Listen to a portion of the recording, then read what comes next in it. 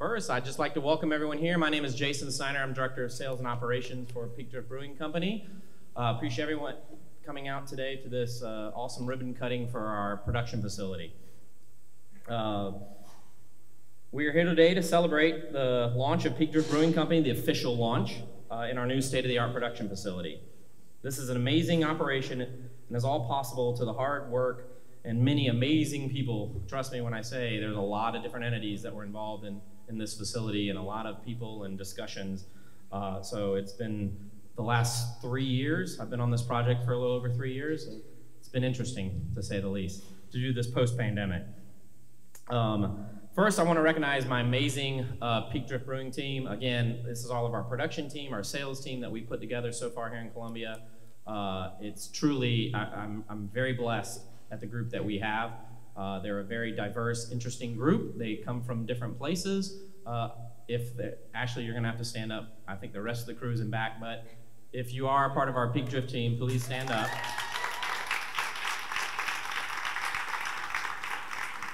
The rest are either hiding at the beer or they're hiding in the back. Um, we would like to uh, especially thank our all of our elected officials that are here today. Again, part of this project is, and Sarah will get into it more, is a very complex uh, project, which I enjoyed being able to utilize the complex project to our advantage. So uh, if you're one of our elected officials attending, if you could stand up real quick, please, we'd appreciate that.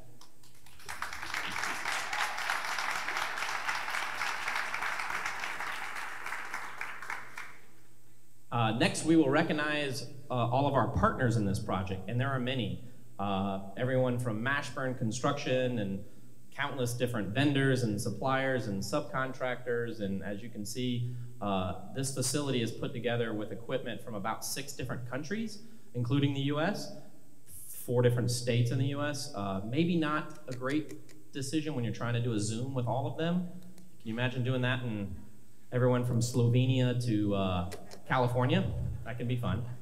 Uh, but if, you've, uh, if you're a part of one of our partners on this project, please uh, stand up and be recognized. I know the Mashburn guys are here. I saw them.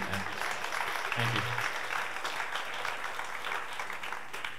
So, and last but certainly not least, a very special uh, thank you to uh, specifically Greg and Sarah Middleton and the entire Middleton family uh, for really giving us the resources and the ability to do this project. So uh, I will let, Greg is not here today, I'll let uh, Sarah mention that. But uh, I would love for the Middleton family to stand up and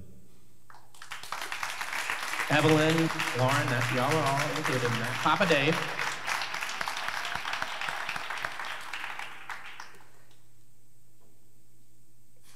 All right, so one of the things I will mention about Sarah and Greg that, you know, just personally from my perspective, incredible brother and sister, yes, which can make meetings amazing and fun. Uh, I have four older sisters. Oh, man. So I know that sibling stuff, but, you know, frankly, they're just, they're amazing visionaries. Uh, they're, they're, they're entrepreneurs, they're forward thinkers. They want us to be better than what the current expectations are. And I just absolutely love that about them. So really without them and their vision, this project wouldn't be possible. So at this time, I'm gonna welcome Sarah Middleton Stiles up to the podium to keep going. Well, first of all, good morning, everyone, and thank you for celebrating here with us today. I'm Sarah Middleton Stiles, one of the co-founders and co-owners of Peak Drift Brewing Company. My business partner, as Jason so eloquently put it, is my sibling, uh, Greg Middleton, and who is also supposed to be my co-host today.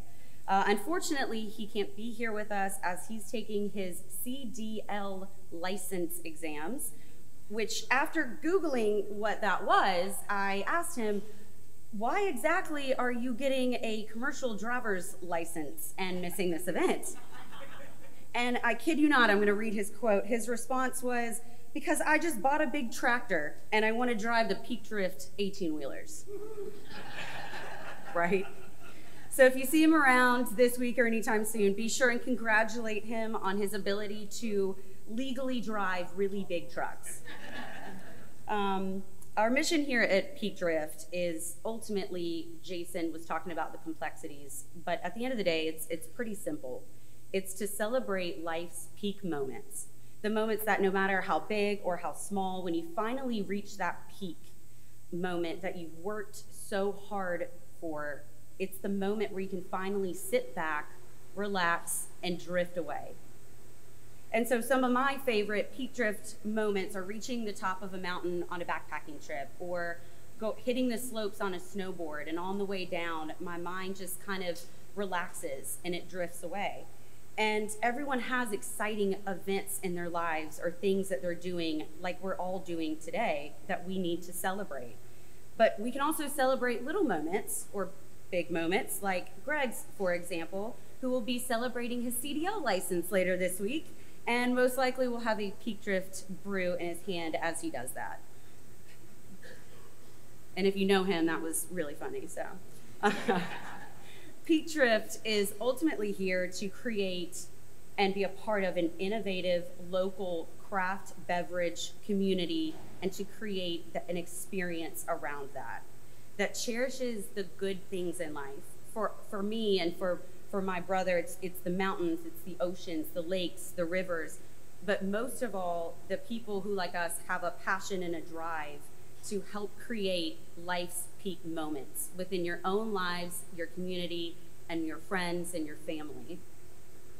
So, we are ultimately dedicated to innovation, sustainability, industry collaboration, and supporting our local communities. And this is only at phase one as you can clearly see. Uh, Peak Drift is soon going to be the most state-of-the-art brewing and production facility and experience, hopefully in the nation. Uh, that's, that's the end goal, um, but certainly in our local communities. And we look forward to celebrating not only the positive impact that Peak Drift and our brand and our community and our team are going to bring, but also the endless possibilities. So today is only the beginning. Get really excited for the rest. And on behalf of the entire Peak Drift team, thank you all so much for being here and celebrating with us today. Thank you. So now I would like to introduce and welcome a very special guest, South Carolina's Speaker of the House, Murrell Smith Jr. The Honorable Murrell Smith Jr. was elected to represent District 67 in South Carolina House of Representatives in 2000. And after years of incredible work for the state, on April 28, 2022, Smith was elected to be the 61st Speaker of the House of Representatives, beginning in his term in May of 2022. Throughout his years in the House, the Honorable Merle Smith Jr.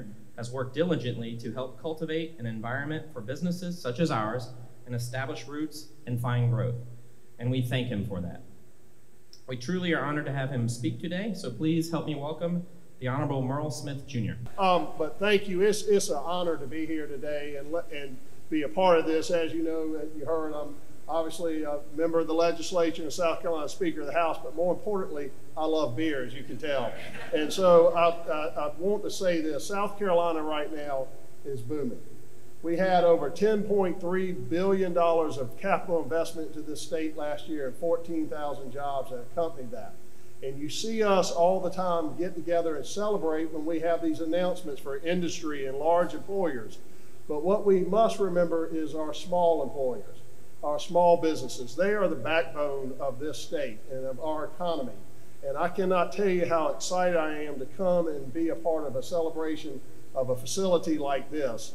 You know, you look at it and you look at what investment in uh, uh, businesses like this means to not only to the state but to your community.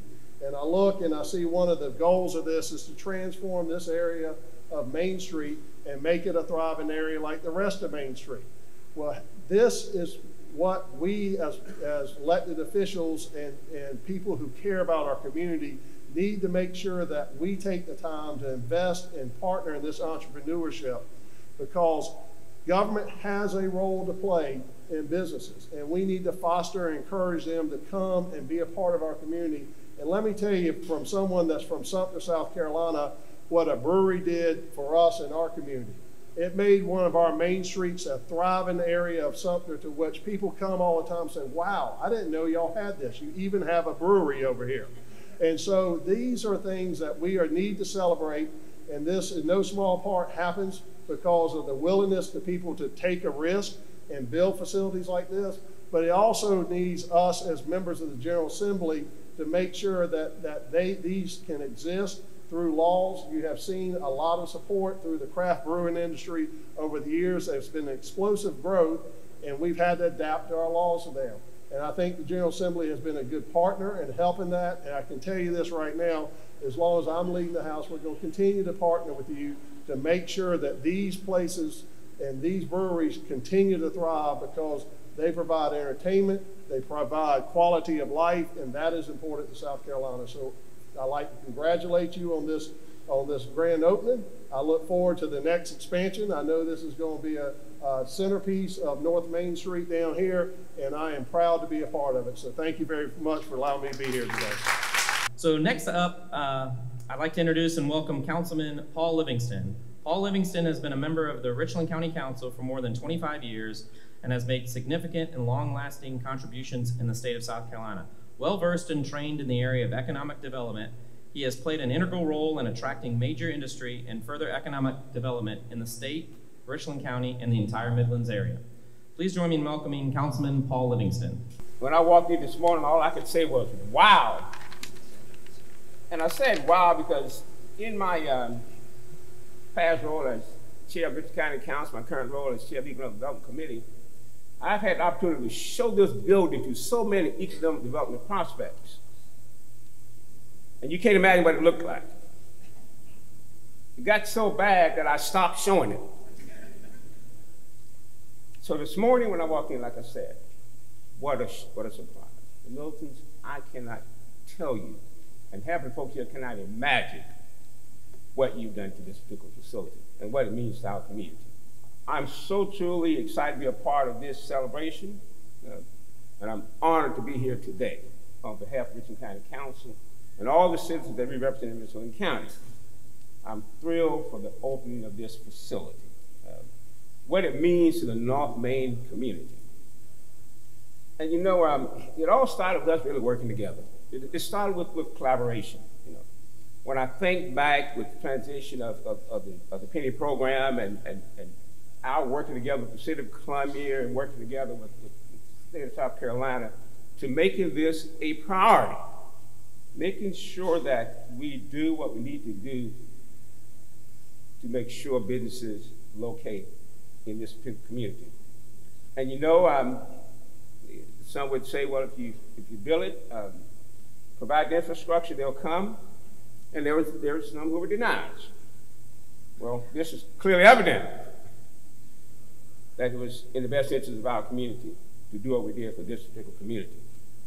My, my fellow council members and I are tremendously invested in driving economic development in, in communities that we serve. We're very concerned about enhancing quality of life for all individuals in our community and for all our, of, of, our communities. Uh, community partners are vital to collaboration um, and it's the key to success in our community, and we want to make sure we continue to do that we know uh, that our role is to make sure we create an economic environment, and we have to use whatever tools we can do to do that, and we'll make sure we continue to do that. You know, for example, making sure we, we provide the appropriate infrastructure, whether it's sidewalks, lighting, uh, uh, tax incentives, all those things that we can provide. Now, um, and I want you to know now, um, the North Main corridor, when it comes to transportation penny, I mean, you got the you got the Rolls Royce. Um, you know, um, a lot of folks are pretty jealous because when we did North Main, you know, you're, um, you, you, got nice sidewalks, your street widening, lights, you know, um, and, and, utilities, underground utilities. You know how many folks are jealous of what, you, what we did in this particular community? Um, because you deserve it, um, and because we knew what it would do for this particular community. So by working together, we have a great opportunity to recruit businesses and, and like uh, Peak Drift, for example, and other establishments that are great to our community, restaurants, shops, things on a large scale. So we're so excited about your addition uh, to our community. Uh, we're going to continue to do all we can do to make sure you're successful. Your success is success to all the citizens of Richland County and city of Columbia. Um, and so we'll continue to make sure that's the case. You know, I, I, clearly understand that the role of government should be to create a nourishing environment for businesses to flourish and, and, and, and make money and just stay out of the way and let development happen. And, and we'll continue to try to do that. Um, so again, um, on behalf of the County Council, all the citizens we represent, thank you so very, very much. Let me also recognize, though, at least one of my colleagues are here, uh, Ms. Gretchen Barron, stand up or raise your hand or whatever. Um, So again, we're tremendously proud of what we have here today, and we know it's, what, what's, that, that there's much more to come. And again, to the Middletons, thank you, thank you for your true commitment to our community, and please continue to let us know what we can do to make it better for you. Okay, and now I would like to introduce and welcome Councilwoman Dr. Aditi Bussells. Councilwoman Bussells has always been a fierce advocate for the people in the local communities. I was not allowed to tell the story how I met her. You can tell the story She was campaigning at a bar. in the Vista. She was really campaigning and she was going around, and to me, I thought that was great. I would have probably never met her otherwise, and maybe I wouldn't have voted for her because you got to go where the voters are. Anyways, uh, she's been instrumental in advocating for economic growth, community investment, and equitable opportunities throughout Columbia. Dr. Bussells has always been deeply involved in the community, and I'm honored she's here to speak at our event. Please help me welcome Councilwoman Dr. Aditi Bussells. Good morning, good morning. I am very excited to be here on behalf of the City of Columbia. I'd like to take a moment to acknowledge some of my colleagues that are in the audience. Councilwoman Tina Herbert, this is District 1. I'd like for her to stand. Um, she is here and has been a huge supporter of the work that we're doing. Councilman Will Brennan, who is in the back, and I believe I saw my counterpart. There he is, Council, Councilman Howard Duvall, um, our other at-large member. Sarah, the turnout, and I said this to you even before we started, is a testament to you and your leadership and Greg's leadership and your ability to bring people together from all walks of life to get excited about Columbia. Not many people know, but I have the fortune of seeing Sarah, Scott, sometimes Greg, bright and early in the morning almost every day because we work out together. And that is really a time for us to talk about the ways in which we can make our city grow and be a destination for young people to come and live and work and play. And that was actually what really attracted me to Sarah and why our friendship has grown over the last couple of years in the first place. She understood that Columbia doesn't need to be a destination we see in the rearview mirror. It's a place that we can really call our own because it's special. It has some great things going on. And sometimes we undersell it, right? We don't think about all of the amazing things that Columbia has to offer, especially for the next generation. And so while, you know, on paper it feels like it's just a brewery, I'm here to remind you all that it's so much more than that. It's increasing quality of life. It's bringing millennials, those that are looking for smaller cities to plant their roots in, to come choose Columbia over other places like, I don't know, Greenville and Charleston. But, um, and, and most importantly, it's cultivating a local economy, right? And I think the most special part about this opening is that we have local entrepreneurs doing it. They are deeply invested in making sure that not only this business succeeds, but that there's community buy-in, that there is a long-term plan for engaging all of the different stakeholders that care and live in Columbia. City Council has spent a long time over this past year really emphasizing the importance of growing our small businesses because when small businesses succeed, communities succeed. And when small businesses are healthy, we have the resources in order to ensure that our communities are healthy as well. And so if Mayor Rickenmann was here today, I think he'd probably say something that this is a huge example of we are open. Um, we are open. We're open to some exciting new ways to do business. We're open to new ideas and this is just one piece of this brewery, which is very exciting. We're gonna have a whole nother side. And what I love about the Middletons is they're always dreaming big. So every time we talk about what this is gonna look like, you know, Sarah, Scott, and Greg, they always have all of these grand ideas and they bring it to life. So I'm very excited to see how it uh, all turns out. Um, looking forward to enjoying some beer with you, Jason. Um, and, uh, and I want to say congratulations on behalf of the mayor and city council for such an amazing opening. Uh, I would like to introduce and welcome the president and CEO of the Columbia Chamber, Carl Blackstone. Carl Blackstone has always been focused on creating a business environment here in Columbia where businesses prosper. His experience working with small businesses and large businesses, as well as professional trade associations on a local, state, and federal level, federal level has enabled him to uh, look long term at how today's actions impact our community's future. Carl is confident that Columbia is the perfect place for businesses, both new and existing, to grow and thrive. And now we're confident Peak Drift will do so. Please help me welcome Carl Blackstone. Greetings. What a good crowd. Thank you all very much for having me. And Mr. Speaker, thank you for coming. Uh, we appreciate it very much. This is an exciting day for all of us, quite frankly. When this was announced a couple years ago and then going through the pandemic, we were like, oh, is this going to happen? And it's here. And it's unbelievable the change that has occurred in this facility. Uh, but I'm more excited about what's coming because the Middletons have proven they can, they're trendsetters.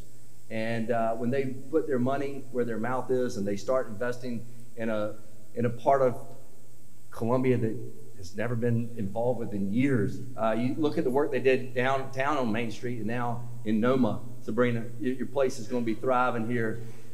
Really, uh, this is awesome. And it shows the power of entrepreneurship. It shows the power of really, as I said, putting your money where your mouth is. They're willing to do it and they invest. They're, they're hard earned money, but it's going to be reciprocated many times over by others that are jumping in and seeing the success here. So, yes, we've got a building and we've got expensive equipment and great tasting beer, but we always, what we're also going to see is the quality of life in North Main that we've not seen in quite a while, and that's exciting. So, between the growth at USC and the med school and the North Main, this place is going to be happening. And it does take a village. It takes a lot of people to do this, from, from the partnership with the city and the county and the state. Thank y'all all for your investment and your willingness to see the future, as, as well as the Middletons for one, taking that challenge and, and willing to take the risk and invest a lot of money because it's paying off and it's changing lives. And so that's the best part because we're going to stand here two years from now and other buildings are going to be popping up and new investment dollars are going to pop up and it's going to be awesome. So thanks all for y'all for coming today. We thank you, Sarah. Sorry the CDL exam came at the same time for Greg, but we're, we're excited to celebrate with you and we appreciate uh, the invitation to be included. Thanks. Um, again, I just want to say thank you all so much for being here, all of our elected officials, all of our speakers here today. Um, there is one person that Carl slightly called out that I'm going to make her stand, uh, Miss Sabrina Odom. She's rolling her eyes. I know you got to stand up. So Sabrina is a powerhouse.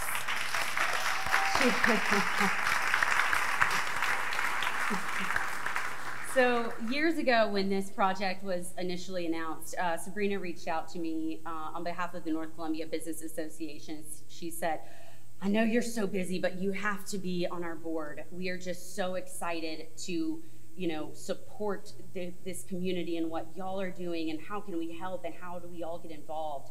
And she doesn't only just do that for me and for businesses, she does that for everyone in this entire community. So um, truly, I, I, really wanted to say thank you very much. We, we very much appreciate you. And then I got to pull up my other stuff because I forgot the rest. Okay. Um, oh, oh, this is the fun part. Okay. Now I'd like to introduce everyone to our superstar master brewer, Ashley Keinert Short. We are so blessed to have a woman of her caliber, her talent, and her passion. While her official title is Certified Brewmaster, I usually refer to her as the badass. I didn't know if I should say that or not, but I do do that. Um, who I'm not only grateful to call a member of this team, but a, a really close friend who we are just learning so much from each other, from this team, from this project, and we're just so happy to have you on board. So please join me in welcoming Ashley Keinert Short. I was already a little nervous, but now I'm blushing. Thank you, Sarah. That was really, really sweet. Um, it has been just an awesome opportunity that the Middletons have given me. Give me a couple seconds to page through here. There we are. Um, and so yeah, so most of all, um, just first of all, good morning and thank you so much for being here today. Um, this has been a big, huge project, something bigger than I've ever really taken on, and um, I think, I think, I hope so for the, the family and the team as well. Um, especially thank you to Sarah, Greg, and Jason for this amazing opportunity to do what I love, which is making amazing beer, um, amazing beverages, and just craft things in general. So um, this was really a dream opportunity for me, um, not only just to move down to build this, but to move to a new community. And I love what Sarah really said earlier about building a community. It's not just craft beer we're making. We're being part of a community, part of a craft, whether it's food, whether it's beverages, whether it's like the local arts and crafts that I've been really enjoying um, and really just getting to know the neighborhood and the state of South Carolina as well. Um, so ever since I took this job, the main thing that has mattered to me is to make a great product and making it the right way. Um, so this production facility has everything we need to create a great product for you. It's a state-of-art packaging system, which you all see back there. That is the kind of the big scary stuff that I have a little bit less experience with. So that has been just so amazing to be able to get the startup installation and then finally seeing it run for the first time has been just wonderful. Um, our in-house fruit processing equipment, um, so we can make better sours, ciders, and even some really fun smoothie hard seltzer stuff. Um, not only can we get the freshest of fruit, but we can actually source locally. So we've already been working with some farms um, to get some special fruits that we can make our beers local and special and better than just buying it from wherever is the easiest. Um, our surface tension technology, which will allow our brewery to produce not only alkaline water, um, but also some more natural cleaning solutions um, so we can cut down the use of our chemicals, be more green, be more sustainable, and just put a little bit less back into the water um, and kind of doing it in the right way. Our on, um, on-site state-of-the-art lab for testing our products to ensure that optimal quality. Um, that is something at, at, my, you know, in my previous experience, I have not had the opportunity to really have the kind of equipment that we have here today. So that's really exciting for me as well. Um, our membrane fil filtration system, so our hard seltzers and uh, really, really great non-alcoholic beer. Um, I know a lot of people are very skeptical about that, but with this piece of equipment, um, we can make some really cool stuff. So even if you don't want to have some alcohol, you can have some of the excellent stuff um, almost exactly like it tastes, just minus, minus the booze. And that's just kind of the beginning. This is only phase one. We have so much more planned. We have so much more yet to add, and we are all just so, so excited. Um, and, and, last, but definitely not least, but the people. Um, so not only the Middletons for giving not only myself, but our whole team this wonderful opportunity, um, not, and for the community as well. Um, but from top to bottom, the people behind Peak Drift are absolutely incredible, and you'll have an opportunity, I think, to meet the whole team today. And um, that is something that I, I, just wanted to say thank you to, to our, our, brewery team, Jordan, Logan, and Tom. I could not have done any of this without them. Um, Jason, Chris, and Casey on the sales. I mean, even Casey has been a part-time brewer assistant since um, since Smoke, since we opened the brew pub. So she's been my official keg cleaner, and I hope that has been as exciting for her as it was for me to just have that extra set of hands when I really needed it the most. So um, and thank you everybody again for being here. Um, it was such an exciting time for us. We've put so much hard work into it, and we are so excited to, to finally bring you all in um, so you can see what we've been doing here. And we hope you enjoy this time, and also hope you enjoy a Peak Drift Beverage, if not a beer today. Um, more non-alcoholic stuff will be rolled out down the line. And also, don't forget to ask, or at least look for, take some pictures of our beers out at your favorite retailer, whether it's local watering hole, or you grab some and enjoy it in the privacy of your own home. Thank you very much.